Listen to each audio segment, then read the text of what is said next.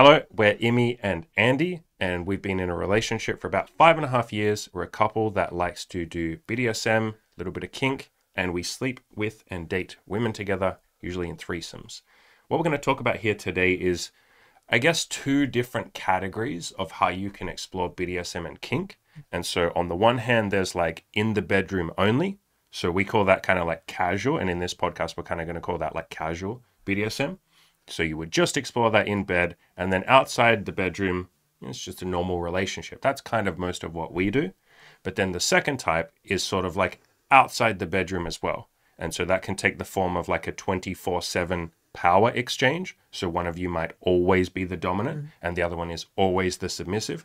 Or it might just be like you do it outside the bedroom sometimes. So again, those two categories in the bedroom only, kink and BDSM, and then sometimes or all the time outside of the bedroom. So with that, we will say this is BDSM and kink is very much like an open, big playground. Mm. And there are no correct ways of doing this. You can kind of do whatever you want to do. So see it as a big, different, a, big, beautiful open world. Try some different things, see what you like, and see what your partner's like. Yeah, and we're going to speak a little bit about what we like about what mm we do and the pros and cons of the other dynamics mm-hmm. and hopefully help you decide what you might be into. Yeah, and really, like we said, that's just a process of trying different things and seeing what you and your partners like. Let's start with a very casual one, pun intended, casual or scene based dom sub or kink relationships. So mm. we're talking about casual, and this is probably the easiest way of getting started with this stuff. And it's predominantly what we like to do. Yeah, we're obviously very serious with each other. We've been together for five and a half years. We love mm. each other very much. We have matching tattoos. We do. But a lot of what we do with other women is casual. And so we might see them for a long time. You know, we've got a girl that we're seeing right now. We've been seeing her for about 10 months. And we like her very much. She likes us very much. But what we're talking about here is the actual dynamic of the sex. And I guess what we're talking about, or the dynamic of the kink, is like, you know, you, you can kind of keep kink and BDSM as either sort of a casual part of a relationship where it's just something that you bring out when you feel like it, or you can go a lot more all in with it and mm. treat it like it's like a 24 7 power dynamic. So like you're always in these roles of, you know, one person might be a bit more dominant, the other person might be a bit more submissive. Mm. And what we like to play with is just keeping it casual. Like we don't generally speaking do it outside the bedroom. We might a little bit, but not yeah. a lot. Yeah, there's no defined roles that are part of our personality. We we change yeah. it up. We we play it by ear.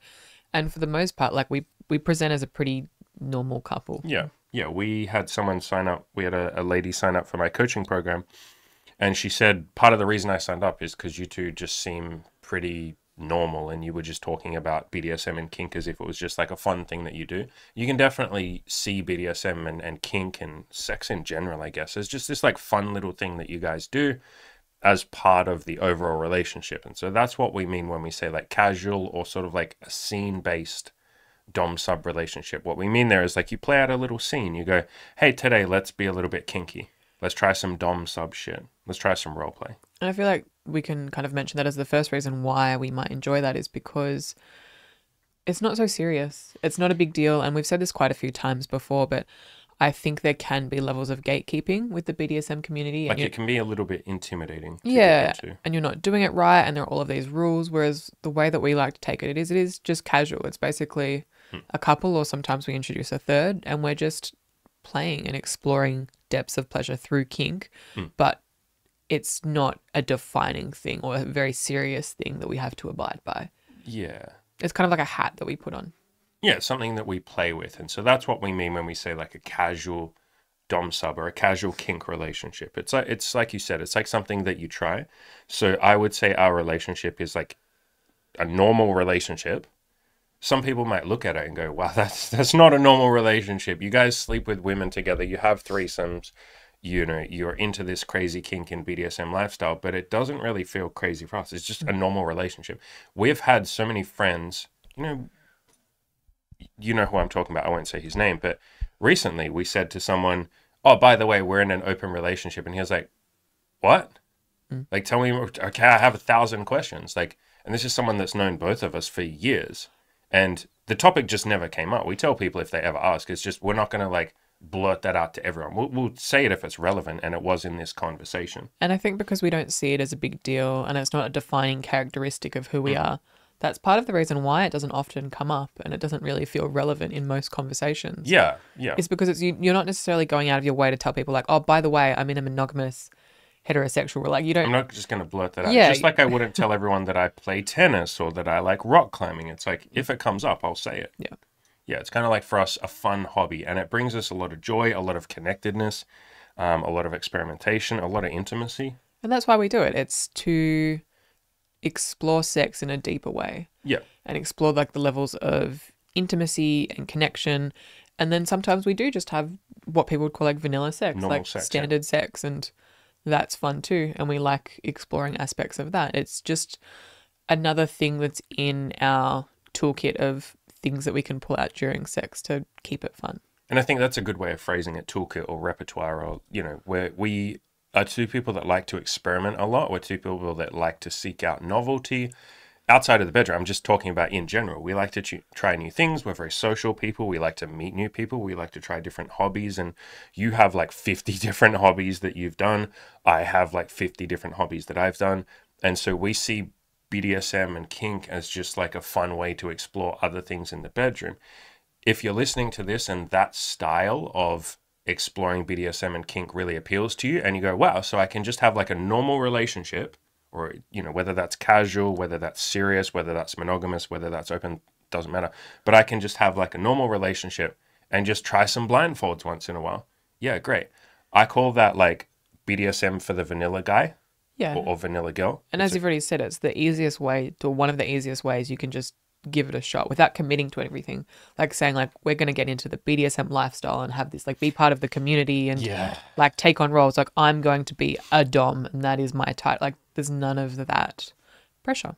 Yeah, and obviously, if you want, and we're going to talk about this in a second, we're going to talk about more like all in or committed styles of BDSM and kink, where you do enter the lifestyle. You do call yourself like a Dom. You do present as I am a Dom or I am a submissive.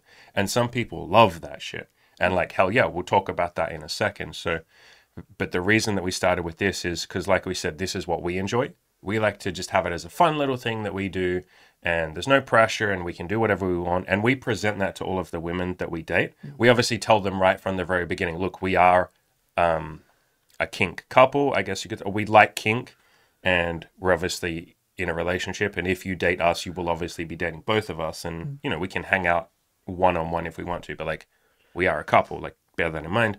So we make that obvious and we say that, but we've had quite a few women that say like, oh, you know, I really want to do that, but I'm kind of nervous to get into BDSM and I, I don't know how to be a good submissive or I don't know how to do all this stuff. And we go, no, it's fine. We just, we'll try some things and see what you like.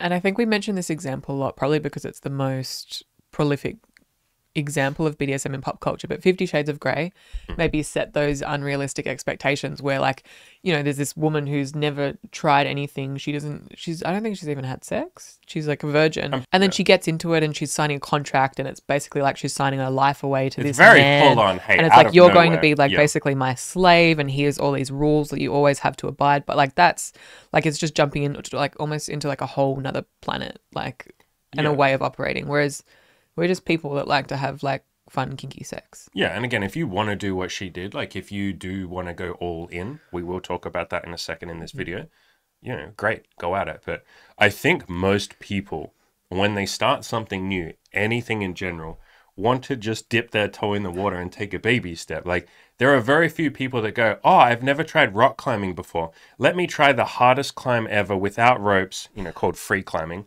Let me just go up to Mount Everest and climb that." Like there's very few you don't really rock climb Mount Everest. I mean, I guess you do actually. But like there's very few people that just go 100% all in. I've never really jogged before. Let me enter a marathon. It's like I think most people like to take baby steps and then build up to that thing. And again, there's nothing wrong with going all in, but I think this is a nice. This is the advice that I give when someone says they want to try BDSM or they want to try being a little bit more kinky in the bedroom, whether that's with a partner or with new people or whatever. I say mm-hmm. just try a few little bits and pieces. Try a blindfold. You know, try a try a bit of ropes. Try just calling your partner something dirty. Mm. Try calling them sir. Try calling them master. Try calling them, you know, whatever you want to say. You just kind of baby step this stuff and see what you enjoy. like you said, we use this as very much our exploration of sex and intimacy and kind of going deeper with each other and with other girls. Yeah, and on the idea of exploration, I think the thing that we also like is that it's not, and because we address it in a really casual way, we don't have these fixed roles or expectations of one another. Correct, yeah. And so we can change it up. So sometimes, or a lot of the time, you're more dominant, but sometimes I can be. And we can play with different role plays and mm. dynamics. And it's not like you're the dom and I'm the sub because we take it more casually. Mm. There's no hard and fast rules. We we change things up all the time, and it keeps it fun and light for us. Yeah, and I think that's because that fits our personality types. I personally don't really like labels as much. I'm just someone that's never really resonated. So you'll never really catch me saying, I'm a left winger, I'm a right winger. Like that stuff to me is just a game that I don't really feel like playing. Hmm. And you probably won't hear me say things like, you know, I'm a dom or I'm this. I will say like I'm traditionally a dom. Most of the time I am dominant, but hmm. yeah, like you said, even in the middle of it, I can be dominant in the middle of it and then we can just switch. And so we're a lot more fluid. And we do this with the women that we date and sleep with as well. We're just, there's no predefined roles. There's no like things that we must do. There's no particular kinks or fetishes or fantasies that we always play out. We kind of just like see what we feel like in the moment and talk about what we feel like in the moment and mm. kind of just go from there. One thing that we do like to do, and maybe you could say this is my traditional role almost all of the time, is I call myself like a, and it's funny that I just said I don't use labels, but I don't use most labels. I use the labels that I like. And, you know, one of the labels that I like is facilitator. Mm. And so what I mean there is I will say to other people, you know, you, the women that we might date, and I do this with my coaching clients too. I do this with all of you watching. I say like, what do you want? And then let me facilitate that for you. Let me be the safe space that you can explore that in. Let me be the person that can push you, motivate you, like guide you, encourage you, help you achieve that, whether that's goals, whether that's sex stuff. What do you actually want? And I'm down. I'm 100% down, unless it's something I don't want to do, obviously. But if I'm happy to do it, I'm a I'm all in. I'm 100% committed to making that happen. And I think that helps. I really like that because, like I said, I like to explore the depth of human experience. I like to see everything. I like to sample everything. I'm someone that goes to a buffet and like 100% gets everything there, like a tiny little like teaspoon, like Unless half a it, teaspoon. unless it contains any of the Sure, unless it's things unless it's don't something sure, unless eat. it's something that I don't like. There are I can be fussy with food, yes, but I like you know like I don't like seafood, for instance. Fine, like ignoring that, it's like I'm gonna get a little teaspoon of like every single little piece that I possibly can because I want to taste everything. How many times do we go? You know what I'm going to say. We go to a grocery store or a random store that we've never been to before, and I'm just there, like, especially in the drinks aisle. I get obsessed with like soft drinks and shit like that. And I'm just like, oh my God, baby, we've never tried this flavor. Like mango passion fucking attack. Wow, what a cool name. Let's try that. Lollipop surprise. Let's try that. Oh, this drink says it's rainbow flavored. What do you think rainbow flavored is? I have to buy this. And I'll just buy like five drinks all at once. And it's like, well, I'm not going to drink all of them. I'm going to take a little sip and be like, oh, that was good. Here you go. Oh, that was good. Like, that's just me. I like to sample shit. So I enjoy that in the bedroom. So you can have labels if you want. And I would guess that a hell of a lot of people, a hell of a lot of you watching, want some sort of label, or you are magnetized towards some sort of label. You know, maybe you're a dominant, maybe you like to be this, maybe you like to be brat, maybe you like to be a good girl, whatever it is. But for those of you out there who don't know what label you are or want to be, or you're a bit more like me and maybe you, where you're like, I don't need a label, I just want to try a lot of stuff. Mm. Yeah, doing it casually and just having a normal relationship where you try some BDSM stuff in the bedroom, and that can be very casual. Like, I think that can help especially because you don't have to enter into the mode of like I'm a dom or I'm a sub. You can literally just talk in the bedroom, say, "Hey, that was fun. What would you like to try now?" You can just like almost break the fourth wall. You don't have to go into character. You can literally just be like, "I'm Andy in the bedroom. You are Emmy mm. in the bedroom," mm.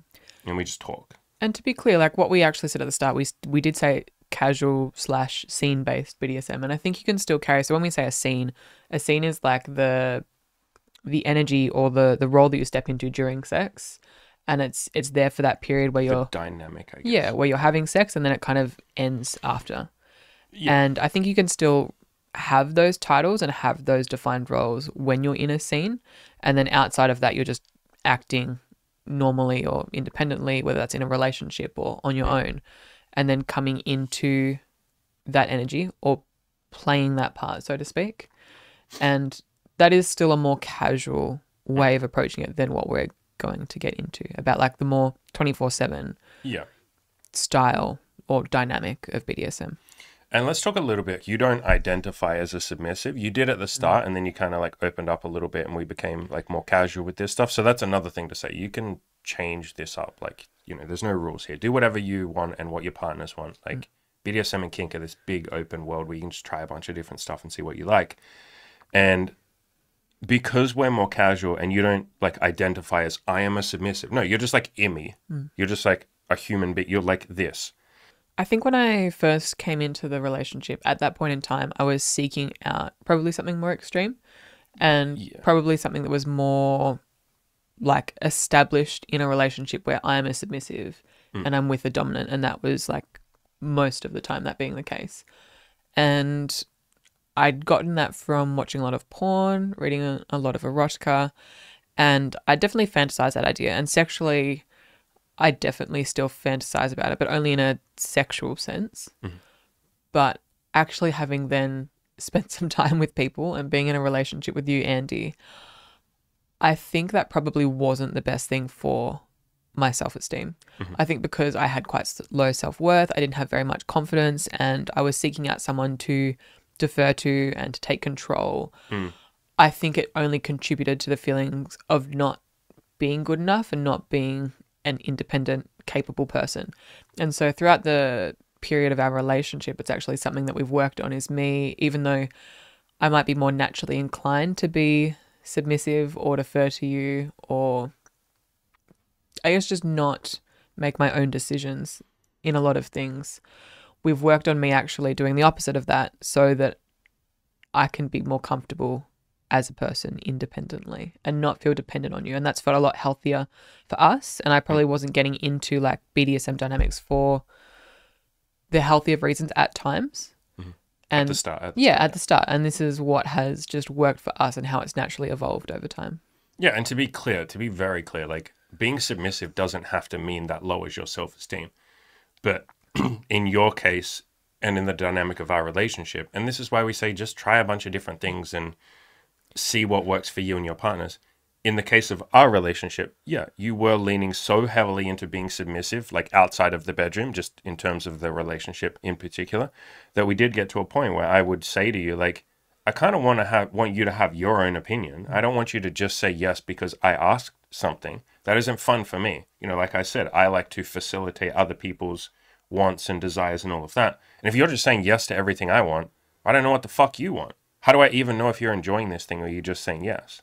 Yeah, and as you just said, like there can be people in a more intense or more committed version of a BDSM type relationship where you still like it's still very healthy and it's a beautiful thing where it's mm. two people coming together, trusting one another, having that power exchange mm. and having that be a fantastic experience that benefits both of them.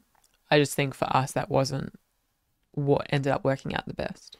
Yeah, and as a good example of that, the woman that just signed up for coaching with us, you know, a week ago, she's in her I'm going to guess she's in her 40s and she's like for want of a better phrase, I love this phrasing, a badass bitch.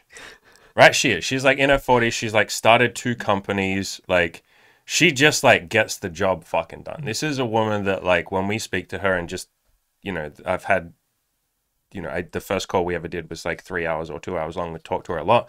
It's like this is a woman with some really healthy self esteem, and she's like, I know that I want to be submissive, like I want to hundred percent be submissive, and so it's like submission and dominance can absolutely be good for your self esteem, like of course, and that's mm. what we sort of bring it all back to. That's kind of our.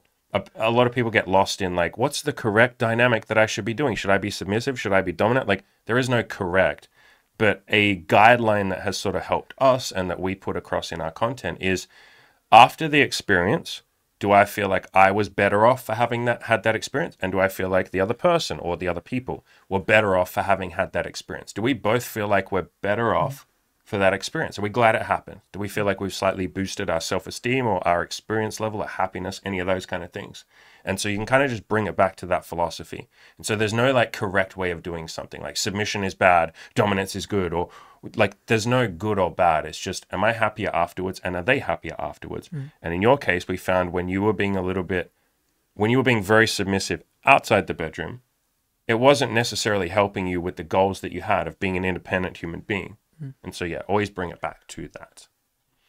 And so, then the second type of you know category guess we're going to look at here is outside of the bedroom, kink and BDSM. So that might take the form of a 24/7 power exchange where one of you is always the dom or the other one's the sub or whatever labels or words or dynamics you want to use, but basically you're doing BDSM and kink and referring to each other you know, under those sort of categories outside of the bedroom. So it can be all the time or it can be some of the time. And this isn't necessarily something that we do a lot. We, we've played around with it, little bits and pieces. And as we already mentioned, it was at the start of our relationship when it was more sexual. Sure. Yeah, I think yeah. when we were seeing one another casually, but the basis of why we were seeing one another was sex, Hmm. it felt easier to bring it outside of the bedroom because Hmm. we knew each other sexually, and that was the main that way that we knew each other. But I think as we became more committed and actually got into a proper relationship, Yep. we found it worked best for us that we kept more of that dynamic where you being dominant, me being submissive was exclusively or predominantly for the bedroom and then outside of that we're we're equal parties i guess Yeah, and we do this with girls that we date as well. We like we might muck around a little bit and play around a little bit with like labels. Like we might be in public and I might say like call me sir, call me daddy. Like but that's even then just like a fun little thing we do. For the hmm. most part, we keep the kink and the BDSM and the labels, I guess, or the power exchanges, if you want to call it that. We keep that stuff sort of more for in the bedroom. And so this category, so that's what we do. But if you're someone that wants to explore that stuff outside the bedroom, a way that this is often phrased is like, oh, I want kink to be, or BDSM, BDSM or kink to be a lifestyle. That's hmm. how people usually refer to it. You know, like I'm going to live the BDSM lifestyle or I'm going to live the kink lifestyle. So, like Fifty Shades of Grey did. yeah or i'm in the community like i'm in the Yeah. bdsm community and it's very much like the the people that i might be friends with are also like doing bdsm and have these titles and they're either dominant or submissive and that's very much like part of who they are And to be clear, maybe this is something that we've we've talked about this, but maybe this isn't clear. BDSM and kink aren't only about being dom and submissive. Like that's just like one aspect. Hmm. Like to be very clear, there's there's a whole bunch of stuff that's BDSM. You can both be equal partners, which I would say we are a hell of a lot of the time. Like you're literally just a guy and a girl, or a guy and a guy, or a girl and a girl, or a guy. Fuck man, like who? You- You're you're two entities, you're two collections of molecules, or more than two collections of molecules coming together, having a great time. There you go. I've covered all bases. great But like you might be a pair or a few people that come together and you're sort of like on equal footing. Like there is no power exchange. You don't give a shit about that. Like like a lot of people who are into kink and BDSM and all of that, they don't really care about the power exchange. They just want to try some blindfolds. You know, it might be like a husband and a wife or whatever, and they say, "Hey, let's try something kinky." Like, and we've done that plenty of times. So it doesn't just have to be the dom sub stuff, but you know, if you're into this lifestyle, where you want to try it outside the bedroom a little bit or a lot, there are varying different levels of almost like intensity. I guess you'd say like how deep you can go with it, how much you can like go all in or just mm. play around with it a little bit mm. and do whatever you want.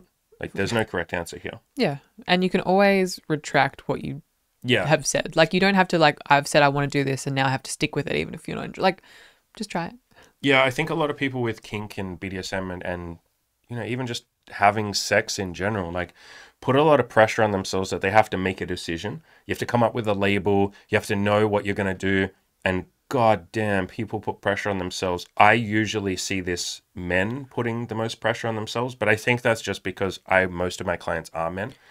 But putting pressure on themselves that they have to be a good dom, they have to do a good job, you have to be an expert with BDSM. And to be fair, lots of women do that too. Women that I've coached and women that we've dated and slept with and been friends with, yeah, they put pressure on themselves too. I have to be a good submissive. I have to know what I'm going to do. I have to never fuck anything up. It's like, no, you don't have to like commit to a certain label. You don't have to be good at any of this stuff. You can just try some stuff and play around. Like, hmm. I know it can be, or we know it can be scary and intimidating. It can. Like, there's this big wide world of things, and there's safety to think about, and consent, and what if I try something and I don't enjoy it? Then you try something and you don't enjoy it, and you go, hey, I don't like that. I won't do it anymore. Can we please stop and try something else? There's nothing bad that happens because you didn't like a particular type of dynamic. So give yourself, you know, any of you that are new to our channel, a philosophy that we have all the time is give yourself permission to suck. Like it's okay if you suck at the start. It's okay if you're not a great dom. It's okay if you're not a great sub or you're not great with blindfolds or whatever you're trying. We're just experimenting. Yeah. And I guess expanding upon the idea of like varying levels of extremities, Mm. I I'm gonna go to one extreme. So I remember watching this documentary years ago when I was, I think, maybe in my teens and probably on YouTube, like looking into this sort of stuff and, and seeing what it's actually like. And I remember stumbling across this documentary of this dominatrix, and she had like a full time slave, Mhm. and she controlled every aspect of Mm, his life. yeah. And this is the most extreme example. And so, like, he she controlled his money, his like internet usage. He like she told him what to wear, like when he could go out and meet friends, or he had a very set schedule for work. And mm-hmm. then at night, like he slept in a cage. Like so, he like he had fully relinquished control to this woman, and it was like a twenty four seven thing. She had like she fully dictated his life, and they both liked that exchange. Like clearly that was, and they felt like that was good for them. And that's the most extreme end that I can probably I have a more extreme story than that. but that's like that's a very extreme example and obviously something that extends outside of the bedroom doesn't have to be to that extremity maybe that's just like doing domestic chores around the house That's a good one. Yeah. in a yeah. submissive way and obviously that's not even necessarily sexual but it's an act of subservience that might feel good for both parties and that can have that kind of kink power play exchange One thing that you said that I really liked is you said you can do things like, you know, the person can control your finances or they can, you know, maybe do some chores or some fun little games. You know, you can give people sex homework. That's something that you and I have done. So I guess we have done little bits and pieces outside the bedroom. Mm. One thing that I like to do with you sometimes, and definitely with some of the girls that we date, is I'll just give them like sex homework. And they love that. You love that. Like, it's a fun little game. It's like, all right, you know, I, I pretend that I'm like their teacher or their professor or something. And I'm like, all right, young lady, like, you know, you need to do some homework. And they go, oh, what's the homework? And it's like, well, you know, this week maybe I need you to take a photo of yourself naked every morning when you wake up and tell me what you want me to do or you want us to do to you when you come over next. Hmm. And that's like a fun little homework task. And they do that and they feel very naughty and it's very fun. And it's a nice little exchange between both of you. And so you can do like sex homework, you can do tasks. Some of that can be sexual. Like sex homework is obviously sexual. yeah But it might be other things like, you know, clean my apartment. That was something that you did for me a few times in the early days. Hmm. now it's not sexual and i just clean up but Yeah. and I appreciate every time you do that. Like, that's kind of the point that we're making here hmm. is like, there's no hard and fast rules. You don't even have to know what you want to do with this stuff. You can just try things. So you could literally say to your partner or partners, you guys could sit down and say, hey, you know, do you want to try some kink stuff or some sex stuff or some BDSM stuff like outside the bedroom? And if they go like, hell yeah, I'm down. Like, what do you want to try? And you go, oh, I don't know. Um, do you want to try calling me sir outside the bedroom and see how that feels? Yeah, I'm down to try that. Let's try that. And you just kind of, it's like you said before, you're putting on a hat and you're trying it on for size. You're just seeing if it fits. You're seeing if you like it. It's okay if it's awkward at the start, if you're a bit clumsy with it. We've said many times before, people often put pressure on themselves that they have to step into character and remain in character and do a great job and like mm. i'm going to be a, a perfect dom or a perfect submissive and i can never step outside that. You can step outside that any moment you want. You can go mm. hey i feel kind of silly doing this. Do you feel silly? And you'll find half the time the other person goes yeah maybe a little bit. Okay well do we want to keep trying it until it feels natural? Do we want to try something else? Like so there's no rules with this. Even if you're doing something hardcore mm. like a 24-7 slave dom relationship, mm. there are moments you can break the fourth wall and go, "Hey, are you still having fun?" And I recommend that. We recommend that. Like, check Yeah. in with your partner and say, "Are you having fun? Is this good? Do you want to try something else?" But I would assume that 99% of people that do BDSM break the fourth. Like you're not in that space. I think there's very few people that stay in the space hundred percent of the time. Yeah, absolutely. Like if you're a dom, if you get sick, You're not you're not gonna be in like big Good strong Yeah, like good dominant call. mode and I'm taking you're like, I'm sick. I wanna have a lie down. I wanna be looked after. Honey, I know you're the submissive, but can you just give me a cuddle? I feel sick. Like I got a sniffly nose. Can you just like kiss me on the forehead and tell me that I'm a beautiful boy and I'm gonna heal up and I'm gonna be okay? Yeah.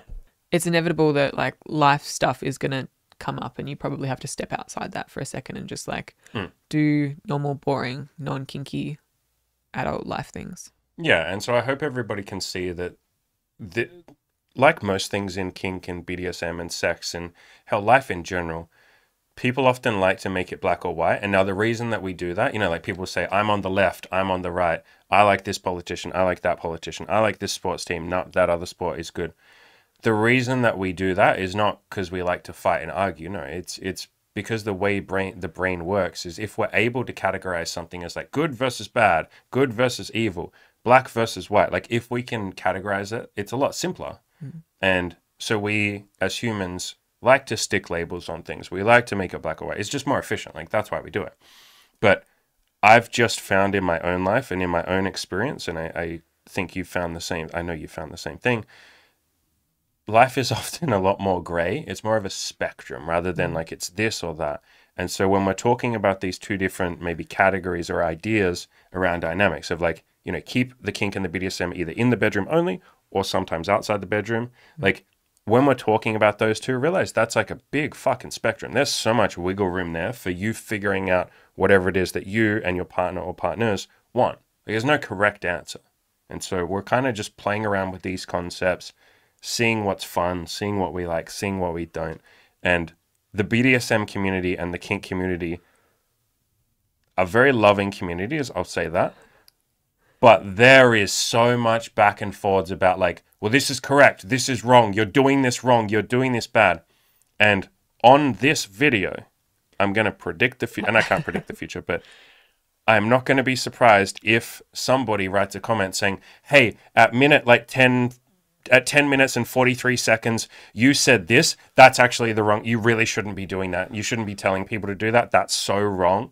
When I fill this entire video with me saying 50 times, hey, do whatever you want. And if you want to do something and you think that's the right way, I love that. I support that. That's beautiful. I will still get people telling me, and I do because I've on the previous BDSM videos we've done, the set you'll get that, you know, those two or three people that go, this is wrong. This is the way to do it. Hmm.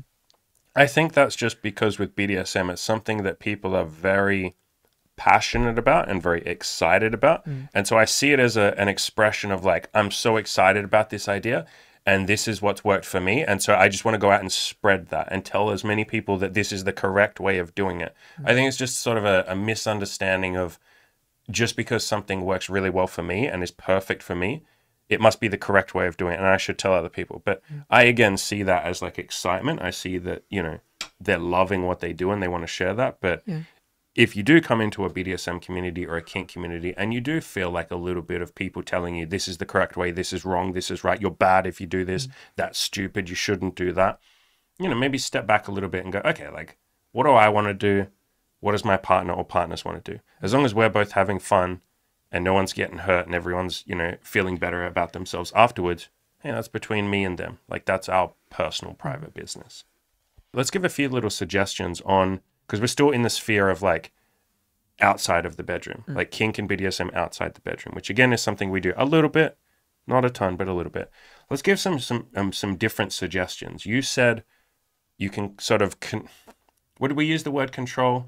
If the word control resonates with you guys listening, you guys and girls listening, then great. If not, Be able to dictate financial decisions for your partner. use whatever fucking words no, you mm. want. Like controlling your partner's spending is a big one. Mm.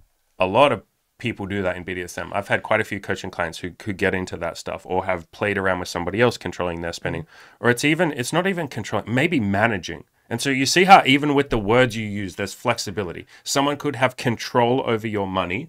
So they always tell you what, like you have to literally listen to what they say. Mm-hmm. Or someone could manage your money. And so they guide you and mentor you. Mm-hmm. And even in the relationships that we have and the type of dynamic that we have, I, when I step into the dominant role, I'm more like a mentor dominant. I'm guiding. I'm trying to encourage because I'm a coach. I'm like a mentor in general. I like helping people. And so even stepping into a dom role, there's just so much like wiggle room and submissive as well. It's like you could be a submissive who wants to just be like 100% controlled.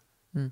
Or you could be a submissive who's like, hey, I just want to ask you for some advice. Can you just guide me a little bit? Like, I, I value you and I, I trust your opinion. You're older than me, or I respect you, or whatever. Mm. Can you just like gently guide me in the right direction? Yeah, if anything, the way that I see it is also almost it is almost like your natural personality traits mm, are mm, kind of coming out, and that's I think when you're intensifying the dynamics and connecting with other people, those parts of yourself that are already there come out during kink or BDSM or sex or whatever you want to call it.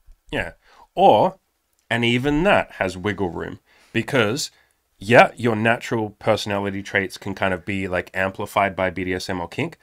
But then there are so many people that, like, okay, my natural personality traits are like this. But when I try BDSM and kink, I want to do the opposite. I want to step into like the exact opposite role. Like, I have dated, I don't know if you and I have ever dated a woman like this together. Maybe we have.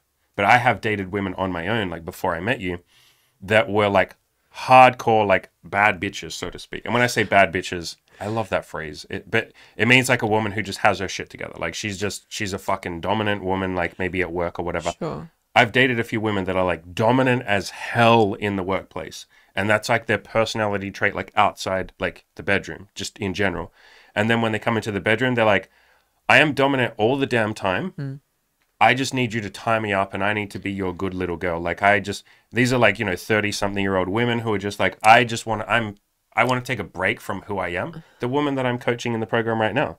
Yeah. I wouldn't say no, no, no. To be clear, she's submissive outside the bedroom too, but like a lot of people might look at her and go like Jesus woman, like you've started two companies, you have all this money, you're like a mother of four kids, like you're a you got your shit together. And then she goes, In the bedroom, I want to step into like a very submissive role. I mean, I feel like that's the cliche too. It's like the the businessman that's bossing around people all day, and then he like pays some dominatrix to, To just like whip him him and, and, yeah. call him like a little bitch, and like Yeah, that's yeah, that's yeah. the comical cliche. Yeah. But like, if that's your thing, more power to you. Hell yeah. As long as you're both having fun, fuck yeah. Other things you can try outside the bedroom, controlling or managing or guiding daily routine. Mm-hmm.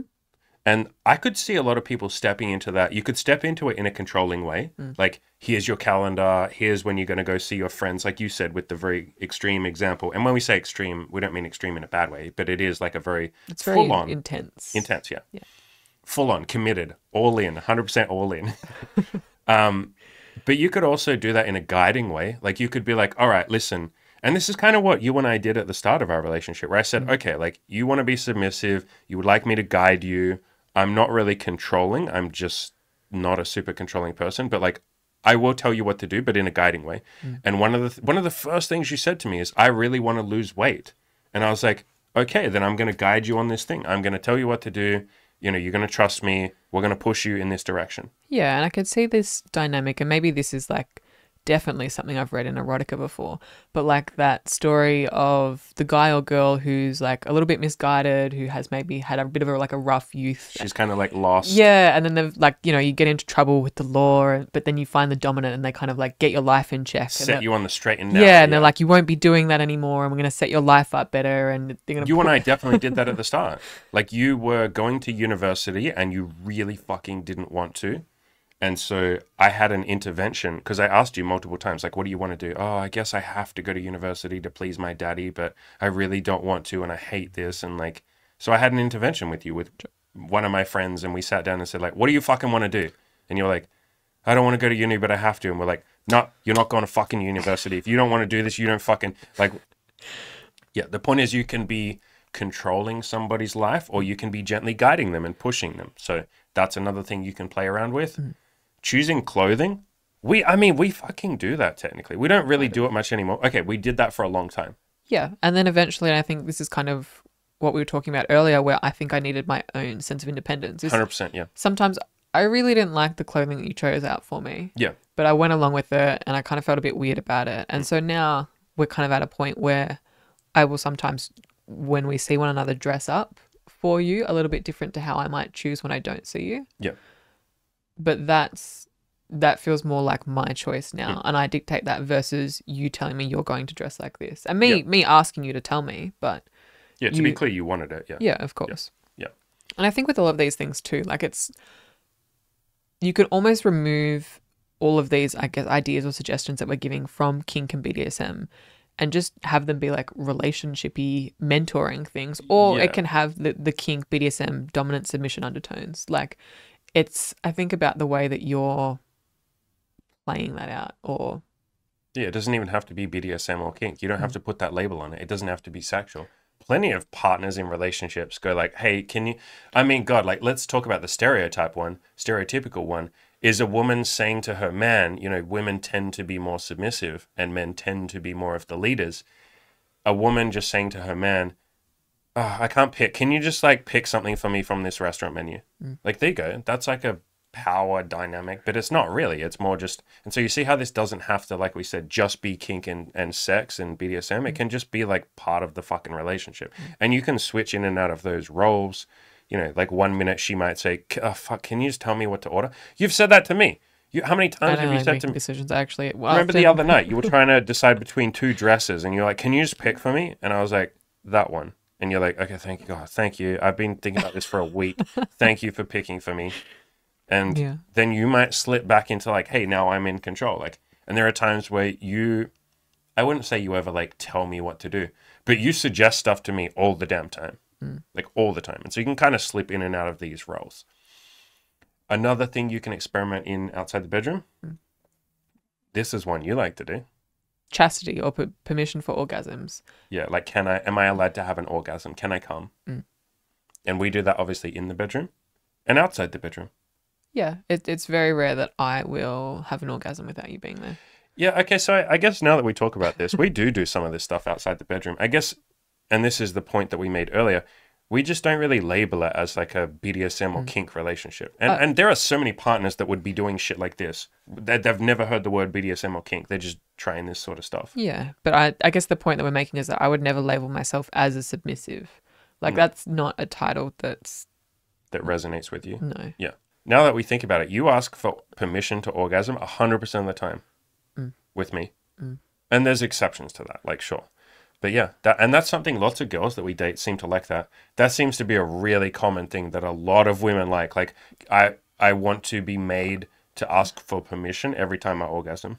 We're, and like pre- half the time they suggest that to us. we're pretty soft though. Basically, always say yes. Yeah, I basically we always like say yes, giving yeah. other people pleasure. yeah. I know. I'm like, uh, yeah, yeah. It's very rare that we'll like do the whole orgasm denial thing. And I then do it sometimes. some I'll, I'll like- say no a few times, and then you're getting closer and closer to orgasm and keeping you on the edge. And you go, "Please, can I come?" No, not yet. Oh, please, like fuck. And like, you know, we'll I'll back off a little bit, and then I'll go again, and then back off like several times, and then eventually I'll say, "Okay, now you're allowed to orgasm." But we're soft. I don't think there's any time I ever say no, like for like a day or two, where I'm mm. just like, "No, you don't get an orgasm at all." Mm. Like, but you can play around with that, whatever you guys and girls want to do. Chastity, by the way, is you can do that physically. So you can buy what is called a chastity cage or a belt for women. belt. Yeah, there's different ways, like a physical thing that you would put on your genitalia to not let you orgasm or not let you touch it. You can still orgasm even though it's on, but like it makes it a lot harder. Or you could just say, no, you don't get to have sex.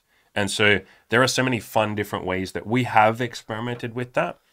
Um, like cuck queening, we've done that, where you basically are made to, and I say made, but you want it really badly. It's your fantasy that we did for you. Mm. I, I had fun with it too, where you're like made to watch, mm. and I will have sex with another girl, and I will be speaking dirty to you, so will she, and we'll both be like, "Oh, you like that? You just have to sit there and watch." Like, mm. and you're very horny and very turned on. That's like sort of like chastity because you're not getting to have sex. Yeah. And so you can play around with that stuff. So, you know, you could experiment with that. You could say to your partner, hey, we're going to meet for the next week, but you're not going to have sex. And they go like, oh my God, like, please, you know, I, I really want to. And you're like, no, like, we're just going to go on some road trips and I might touch you and make you really horny. And God, like, I'd really love to have sex with you, but I think you're just going to have to wait. Like, you can play around with that kind of stuff. Like, do whatever you want. But there's such a wide world of experimentation here. Use of titles and names. Mm, which we've already mentioned. Yeah. Just calling one another like master, sir, daddy. mistress, little one, pet, slave, Mm. slut, whatever. Obviously, a lot of those probably get dropped when you're in front of strangers. You probably, but- yeah. But even then, like like we said before, and maybe we can read out or we can think about talk about a couple of like interesting extreme examples we've seen of like people taking the BDSM or kink um, dynamic to like 100% 24 7 because I got a few examples of that. But you could literally say slave and slut in front of other people. I've read articles, I've seen articles like in the newspaper and shit of like what's called pet play, where somebody will pretend to be like a pony or a dog or something. And so they're on all fours and they're wearing like a little dog, well, you can wear like a little Yeah. dog It's mask. technically safe for work, which is why they're doing it in public. Like they're not naked, but like Yeah, you're not naked, but like you literally act like a dog. And I've seen that in newspaper articles where they interview like this couple, like she or he walks around on all fours like a dog, and they have to eat out of the dog bowl, and you know they literally act like a puppy. When they take them for a walk like a dog when they're out in public. So you can go to that level if you want to. We personally don't do that, although I believe that is on your fantasy list. I don't. I think in in practice. You think you couldn't play it out? Yeah. like I think I don't think I it's could like play a, it out. a cute fantasy that I can like get off to, but then in practice, you I'm like, I'm not. I'm yeah. not going out on a dog lead. Like that's not happening. And even then, fuck, I mean, here we go. And this is what we talk about, or what I keep bringing up, where there's such a wide world. Like BDSM and kink, a big reason why we like kink play and all of that is because there's just like infinite things you can try. Mm. And so you can, even with some of these things, you could even have no intention of ever actually doing these things, but like in the bedroom during sex, you can be talking about and hmm. fantasizing about some of these things. So everything that we're talking about here, where you're like, you could literally be in the middle of having sex with your partner, and if this is something that you're both into, you could be like, imagine if I controlled everything in your life, and they could be like, oh my god, that's so fucking hot, like fuck me harder, and you're like, imagine if I didn't let you spend your money, oh my god, that's so hot, like. You don't even have to actually do it. You can just like fantasize about hmm. it. And we've had plenty of that shit where we're like, oh my God, imagine if I did this. And you're like, oh my God, that's so hot. And then it's like, but we've Yeah. never done it. We're probably never going to Yeah, do it. and almost like post sex, you're lying in bed, and there's just like And you're that like, "Hey, qui- we're not gonna do that, quiet, by the like, way." Yeah. By the way, that's not. Yeah, that's never happening. You're like, cool, Yeah, great. I don't care. It was hot in the moment. So, yeah. yeah, similar to that. Um, we already kind of talked about this, but if you're a submissive or you want to be in that position, you can kind of just give up like complete control, almost like a parent and a child relationship would. Like the child gives up complete fucking control to the parent when when they're young, and they're not doing that willingly. But No, like, no, actually, I take that back. I think they are partly doing it willingly. If you say to a kid, "Good luck, kid. You're two years old. Mummy and daddy aren't going to look after you anymore." Fuck off into the real world. The kid's like, no, like, please. I mean, animal, lots of animals do that too. Like, plenty of them will run away, but plenty of them, if you Like said to a dog, like, piss off, go live your own life, the dog is just like, but I love you. And you're like, no, you have to go away. like, go figure out life yourself. And you're like, but I love you. Can I stay? I love you so much. Please, can I be your good boy? And you're like, "Mm, okay, fine, you can stay. So I think people like willingly, kids and dogs and stuff like that, do willingly step into that. Plenty of them don't, sure. But yeah final thing I guess we can talk about. And there's a million different ideas of things you can do outside the bedroom and in. Like I hope we've made that clear. But Yeah, this is just a few. To little get you thinking, to get you Yeah. started. So punishment Mm. with rules. which is not something that we actually we don't do proper punishment. What the fuck are you talking about all the time? No. I have a giant smile on my face when I do it, and it's a fun little game. But Okay, like I have all the time. I I've- swear to God, like every week, I punish you. I have like an erotica version of that where it's like you Oh, do actually that, like don't like you're actually being put over like your knee and you're getting spanked and it actually hurts and like maybe I'm actually quite upset. Like it's there's an We don't really established rule and it's Yeah. been broken and then you get properly punished. The point where it's like I'm not having fun, but like this is part of the agreement that we're having. Yeah, and so you could agree to that. You could sort, and I would be very clear that you both agree to that before you do that, where it's like a proper punishment. Like I'm gonna spank you, and maybe you're like, oh my god, like I'm really sorry. Like maybe you go through that kind of stuff, mm-hmm. and that would be like if you had some rules that you followed. Like mm. you know, every day you need to send me a nude picture of yourself, and if that gets broken, you're gonna get punished. Mm. And when you're doing that stuff, make sure you both really want to be doing that shit. Mm. Like definitely, that is something that I would be cautious about, and I not cautious, but like I'd be thinking of like, let's make sure this is a fun, awesome activity that we're both enjoying, mm. right? Or that you're getting something positive out of it. Yeah, make sure it's like a fun thing. And so we kind of do punishment, but I just have the most biggest smile on my face, and I'm saying it almost like a joke. It's like when you're a little smartass to me, because I'm a smartass all the time. I'm like, Constantly. I am a smartass all the time. Yeah, I'm, I'm like a brat, yeah. even though I'm a fuck. we have a recording of you saying that you're a brat. I'm I'm a, I'm I'm the king of like dad jokes. I think dad jokes, like anyone any dad who get, does dad jokes, that's like brat energy.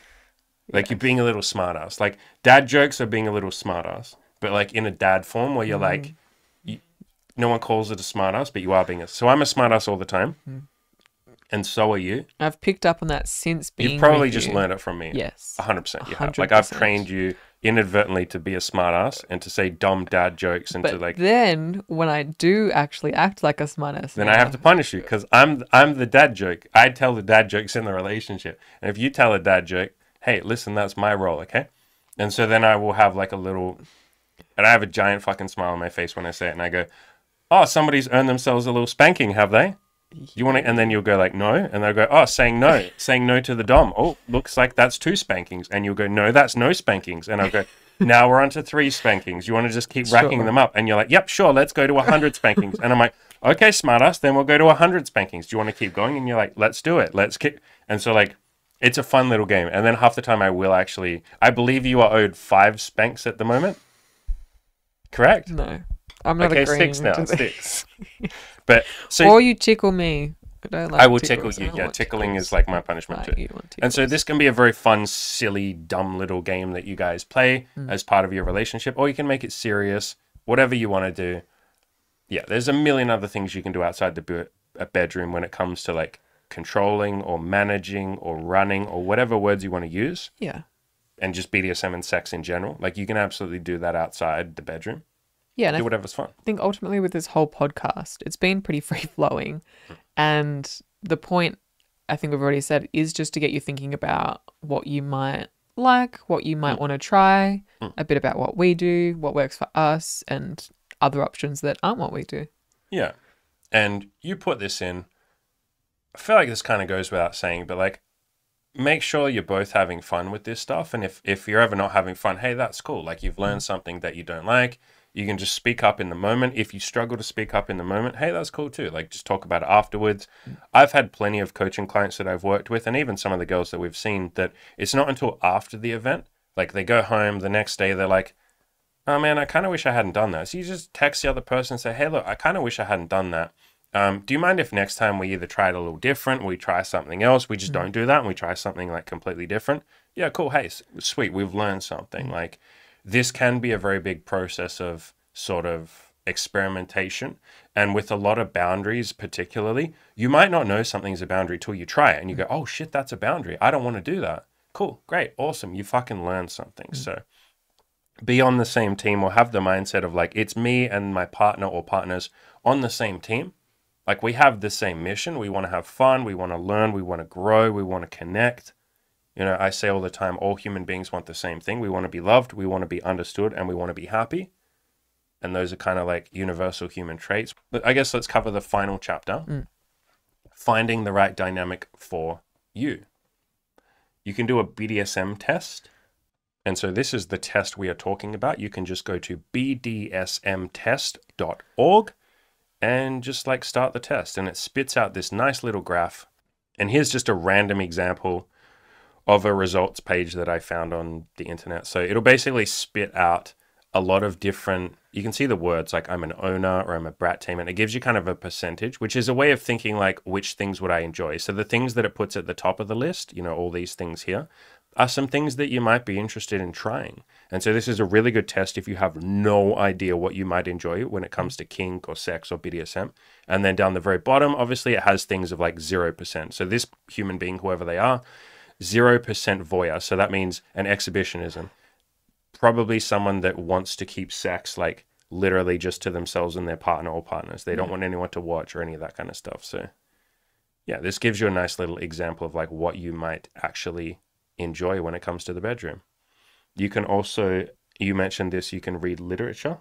You could watch some porn. I'm someone that's trying to reduce my porn use. And if you're similar to that, you know, you don't have to do that. But literature can be a decent way. Like just go Google, like, what are other people into? What Yeah. do people like? And as we already mentioned, like things in like as a fantasy can be fantastic, Mm. and in practice you're like, nah, no, thank you, didn't enjoy that. Yeah. But it, it's a nice way to get you thinking and, Yeah. and fantasizing, and if it turns you on, it's it's probably worth giving it a shot.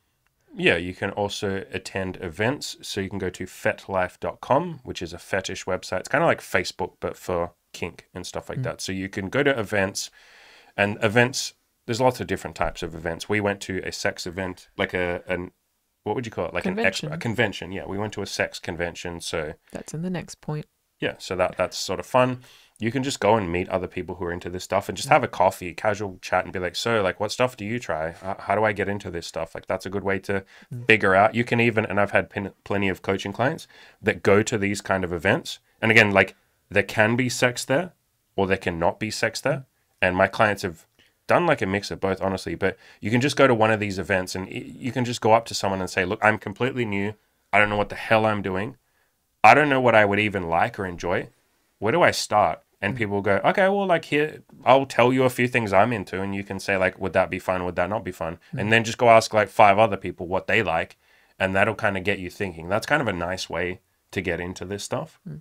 You can also write what I call a sexual bucket list, like a list of all the sex things that you might want to try in the bedroom, mm-hmm. and then you can ask your partner or partners like, what is your bucket list? And when people write their own bucket list, you'll look at it and go, oh my God, I never would have even thought of any of that stuff. This turns you on. Wow. Hmm. Why does it turn you on? Actually, now that I think about it, holy shit, that maybe that would be fun. You can kind of get inspiration and ideas. And I have been writing my own sexual bucket list for the last, like, I don't know, like eight years. So you can keep adding to it and tweaking it over time. Hmm. You've done yours as well. Yeah. And we add bits that we hear from other women and stuff like that. But really, it's just trying a few different things, seeing Seeing what what you're into. into. Anything else you would love to tell these lovely human beings, these beautiful, wonderful, sexy, sexual, lovely humans? Have fun and explore. Yeah. And again, to really underline here, I don't think there's any right answers with any of this stuff. It's just what do you like? What do your partners like? And go from there. If you found this video helpful, we offer coaching. I will leave a link in the description to the coaching. I would love it if you signed up for the coaching program. We have a really good coaching program. We change a lot of people's lives. Like I said, men and women, everybody's welcome. Whatever your goals are, whether they're sex, dating, relationships, money, we have plenty of people joining for uh, to find like peace and love and happiness and work on being okay in the moment and loving themselves. We're a very hippie, free love community and channel here. Very sexual channel too, I guess, but I think those things go nicely together. Yeah. You don't recycle them. I don't recycle, no. Are you allowed are you hippie? allowed to be a hippie if you don't recycle? Leave a comment below. Am I a bad hippie because I don't really recycle? Love you all very much. Hope this was helpful. Go out there and try some kink or don't if you don't want to. Coaching link in the description below. As always, go out there and work on those goals and crush those goals. If you've been wanting an amazing, awesome, elite sex life, tons of threesomes, plenty of wild adventures, and great memories with awesome people, we would love to help you get there. Here's just a little bit of what our coaching clients have achieved in their time in the program. Renee had a threesome in just his second week of coaching, had a woman write him a love letter, and he went on to have sex with 12 women in just 12 weeks of coaching. Corky had his first threesome, slept with seven amazing women, and made a ton of awesome memories with them. George and Power both had sex with 10 women each in their 12 weeks, had a bunch of wild adventures along the way. Join me and join them by clicking the coaching link in the description below.